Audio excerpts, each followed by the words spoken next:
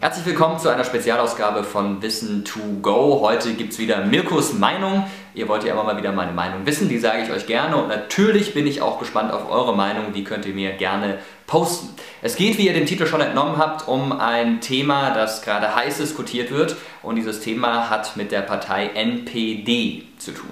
Die NPD ist eine, so sagen die Menschen, die sich mit ihr beschäftigt haben, rechtsextreme Partei. Das heißt, sie ist zum Beispiel feindlich gegenüber Minderheiten, vor allem Ausländern, und sie ist sehr nationalistisch gestimmt. Diese beiden Sachen sind jetzt noch nicht unbedingt ein Grund, warum man die NPD komplett abschaffen sollte. Zumindest gibt es dagegen kein Gesetz.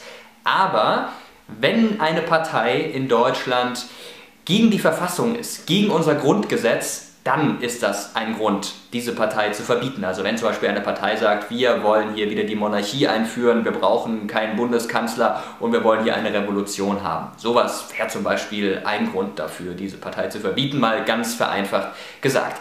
Bei der NPD ist es so, dass einige Leute von der NPD sagen, dass sie Kontakte hat zu staatsfeindlichen Organisationen, die also einen Umsturz im Staat wollen und die das Ganze auch gewalttätig machen. Es soll dafür verschiedene Beweise geben. Die NPD soll zum Beispiel auch Verbindungen gehabt haben zum NSU, zum nationalsozialistischen Untergrund, der ja vor einer Weile verschiedene rechtsextreme Terrorattentate begangen hat. Und deswegen sagt man jetzt, diese Partei sollte man eigentlich verbieten, weil sie eben angeblich diese Kontakte hat.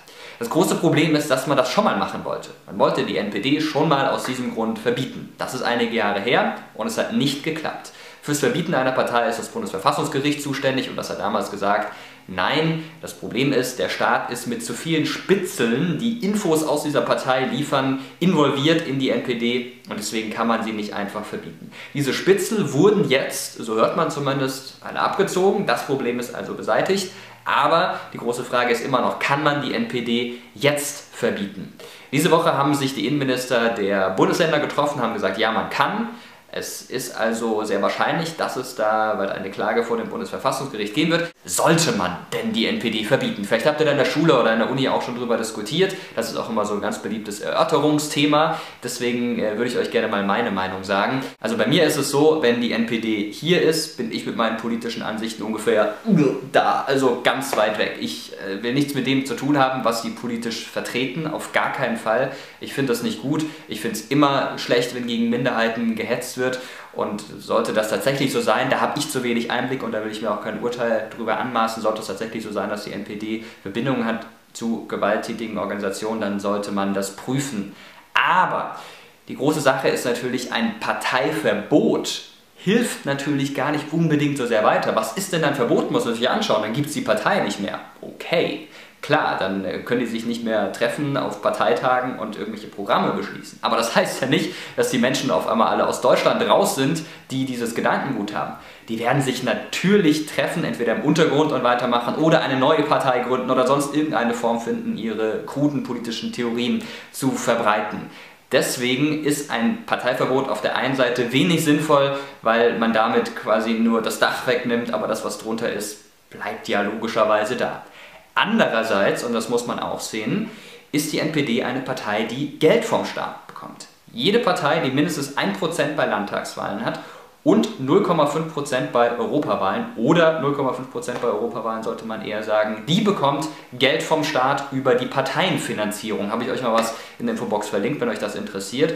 Und das bedeutet, dass die NPD auch Geld bekommt. Seit Jahren bekommt die NPD jährlich mehr als eine Million Euro vom Staat, die sie natürlich einsetzt, um Parteiarbeit zu machen. Und das ist natürlich die Frage, sollte der Staat eine Partei unterstützen mit Geld, die mehr oder weniger gegen den Staat arbeitet?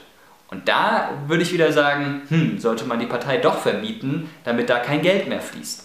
Ich bin, ihr seht also zwiegespalten, auf der einen Seite sage ich, bringt nicht viel, weil die machen eh weiter, auf der anderen Seite sage ich, naja, aber dann fließt wenigstens kein Geld mehr, wenn die Partei verboten wird. Unterm Strich, wenn man das alles so zusammennimmt, sage ich, verbietet die Partei einfach, ein Versuch ist es wert, klar werden die weitermachen, aber wie kommt es denn zustande, dass man zum Beispiel ausländerfeindlich wird? Einfach indem kein Dialog da ist. Man sollte also Dialog fördern.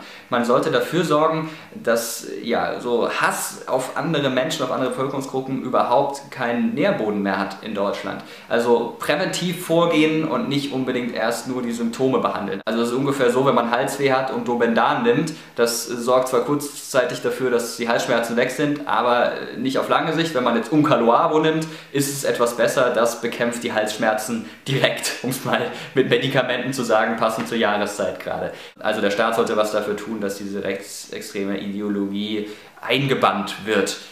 Unterm Strich, Partei verbieten, ja, aber auch gleichzeitig Maßnahmen verabschieden, die dafür sorgen, dass immer weniger Menschen so denken wie die Menschen in der NPD. Ich hoffe, ihr konntet meiner Argumentation folgen. Ist ein bisschen kompliziert, aber ich bin natürlich auch gespannt auf eure Meinung. Was sagt ihr? Bringt es was, die NPD zu verbieten? Ist es ein Tropfen auf den heißen Stein? Hier ist alles erlaubt. Also sofern ihr nicht gegen irgendwelche Leute hetzt, dürft ihr alles in den Kommentaren schreiben. Ihr dürft auch mich kritisieren, wie ihr wollt. Ich bin gespannt, was ihr schreibt. Vielen Dank schon mal. Morgen gibt es übrigens wieder ein Video. Da geht es dann um den Kalten Krieg. Also was ganz anderes, aber es hilft euch vielleicht in der Schule. Kalter Krieg morgen. Bis dahin. Tschüss. Macht's gut.